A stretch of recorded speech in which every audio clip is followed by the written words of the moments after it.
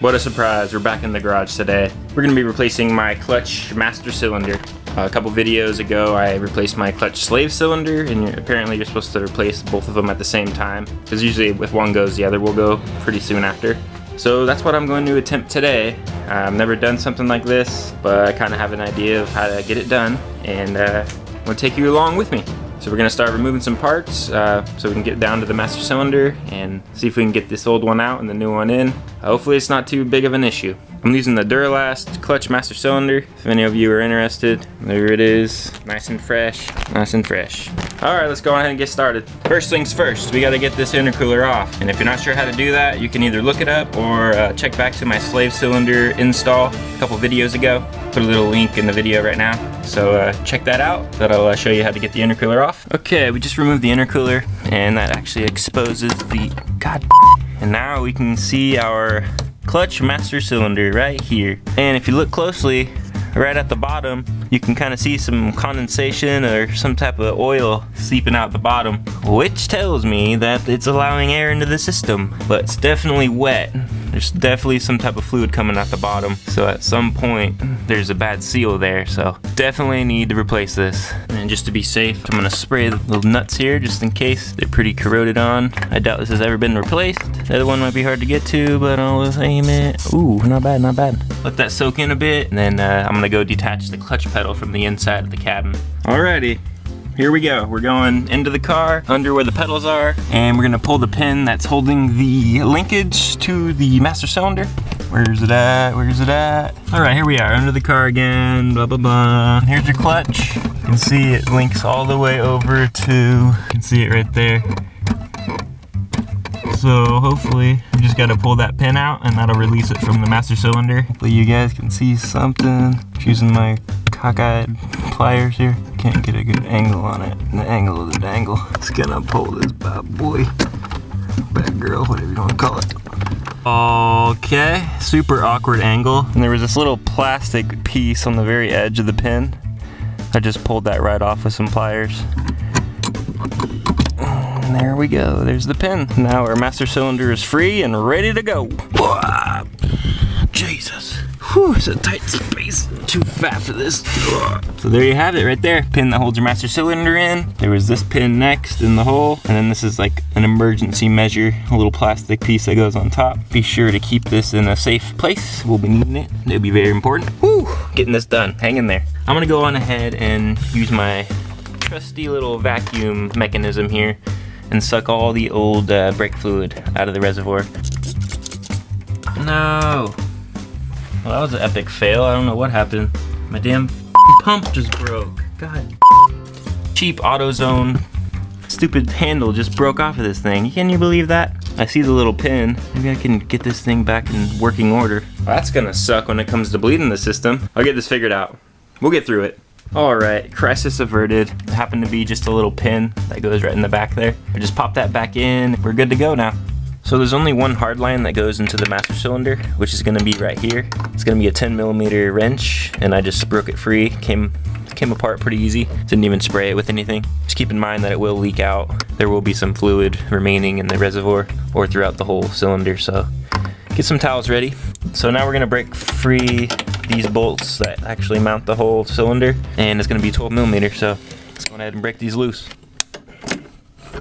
Move on to this other side, it's a little bit more tricky to get to. All right, this is how I got to the second bolt. I just had an extender on there, just winded it under the hard line there, and it lines up pretty even.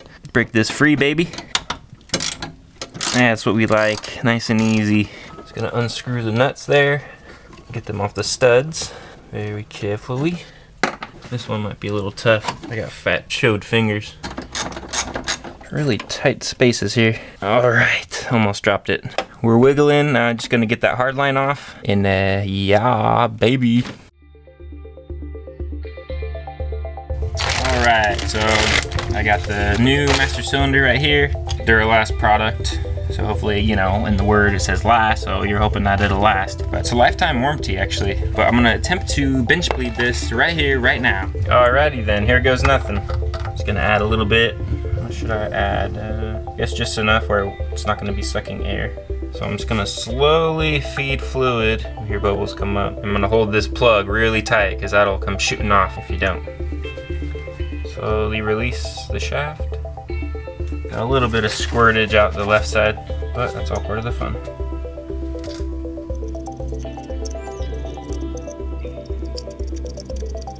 Quite a bit has actually been sucked in there already. Alright, I think I loaded enough in there.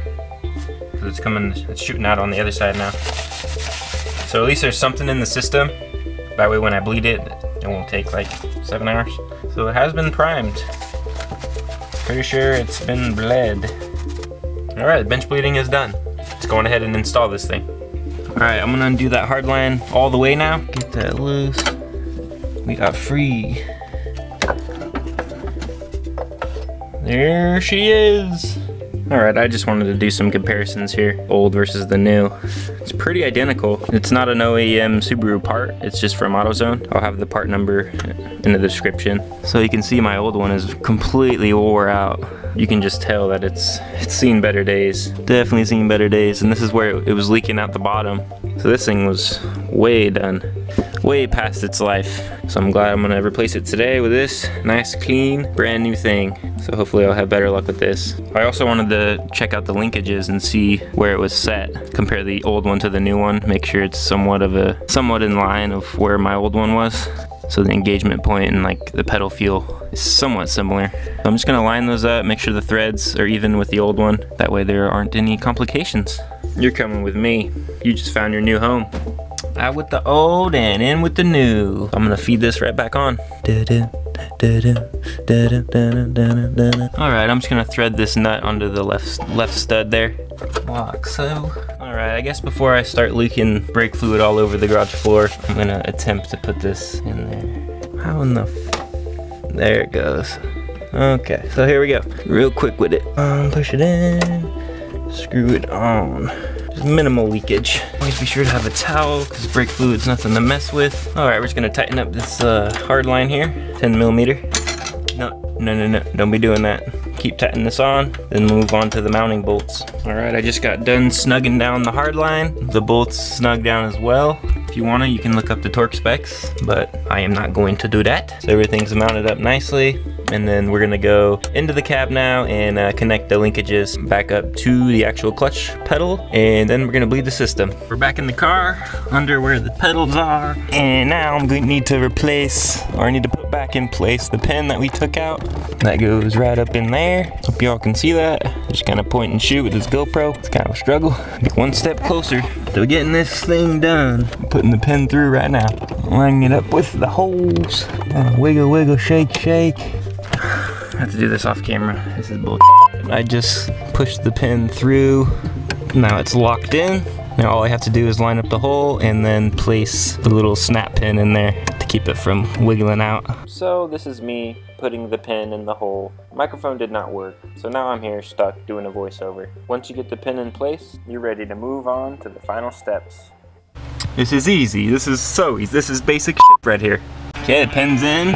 See how it functions here master cylinder moving up and down. And obviously I'm gonna have to re-bleed the system because this is what I'm working with now. Look, absolutely no pressure. All right, time to bleed the system. So I'm gonna go into the cab and pump the clutch pedal with my hand, probably maybe 10 times. One. I like to go slow and bring it up slow. That way it's not creating too many air bubbles in there. I think that's five. And on the 10th one, I'm gonna leave it down. Run over to the bleeder valve screw, break it free. Close it. I'm gonna go pump the pedal again.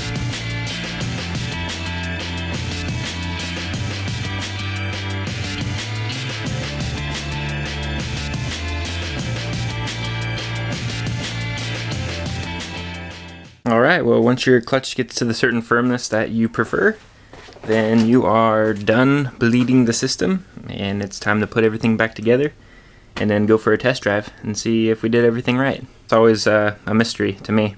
You never know. And you know how it goes working on cars. It never goes the way you plan it to go.